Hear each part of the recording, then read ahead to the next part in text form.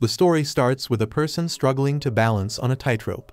Nearby, students and parents gossip about his troubles, saying he's always in fights and causing problems. They think he's too dangerous to even look at because he doesn't know how to interact with others. They insult his appearance, like his refusal to dye his hair black, and even say he's cursed because of the color of one of his eyes. Everyone finds him disgusting, and eventually, he falls off the tightrope. Then, we meet our main character, Sakura, who is angry. He believes in strength and doesn't care about weakness. Some guys harass a girl nearby, and she jokes about wanting to throw eggs at them, but Sakura warns her against it. When Sakura sees weakness, he interferes. He confronts the harassers, telling them it's lame to act tough so early. The leader tries to fight Sakura, but Sakura easily defeats him. Sakura demands they remember his name and face so they can warn others to stay away from him. He wants weak people to fear him and strong people to know where to find him. He declares himself as Sakura Hakura from Furin high school. After dealing with the harassers, Sakura tries to leave, but the girl stops him to thank him.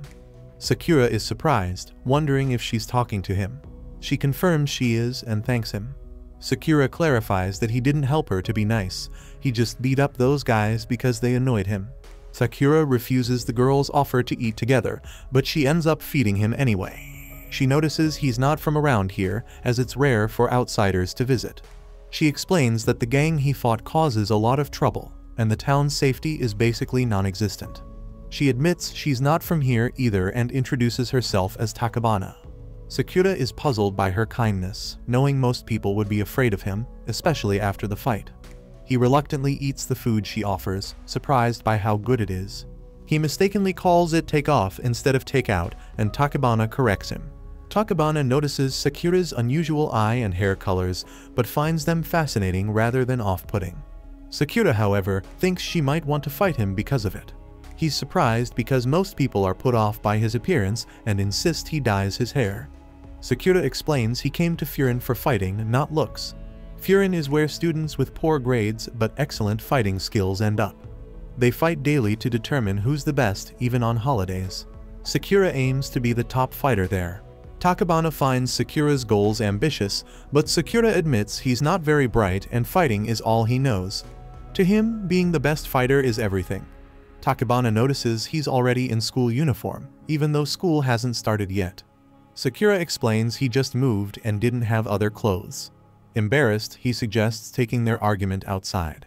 As Sakura leaves, he reflects on the strange encounter. An elderly customer almost forgets his bag, and Sakura reminds him. The old man gives Sakura some candies and tells Takabana to thank him. Sakura isn't used to such praise and finds the town and its people weird, including Takabana. He points out his delinquent school uniform and strange appearance, believing normal people wouldn't trust him. Once, Sakura picked up someone's wallet, but they accused him of stealing it. Takabana then explains that Sakura made the right choice by coming to Furin, but she doubts he'll ever become the top fighter there. She even suggests he might not beat anyone. Sakura argues, saying she doesn't know how strong he is. Takabana acknowledges his physical strength, but says his problem is being alone. This makes Sakura furious, as he believes he doesn't need anyone else to win.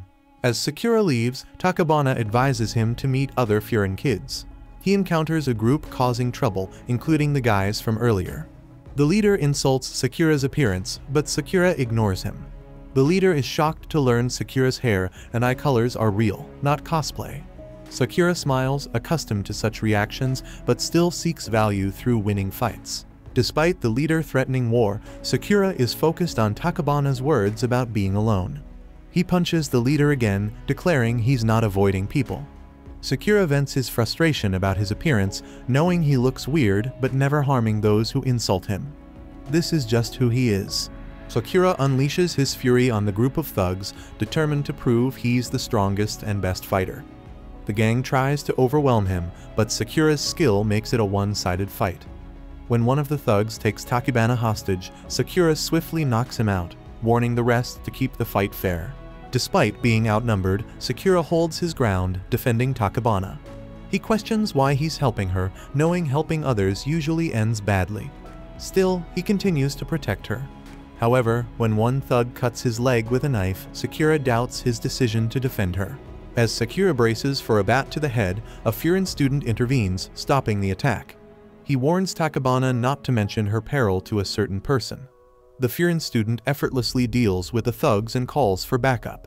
Sakura is shocked by Furin's intervention and wonders why they're helping him.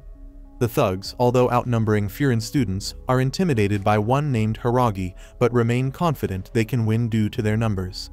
Hiragi instructs the others to quickly take down the remaining thugs. When Sakura is caught in a tough spot, Hiragi saves him once again and advises Sakura to stand back if he's hurt.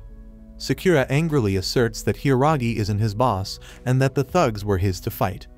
Hiragi tells him to stop moving around to make it easier for them to protect him. Sakura is shocked to hear the townspeople cheering on the Furin students. Takibana reminds him that the town's public safety changed two years ago, thanks to the students of Furin.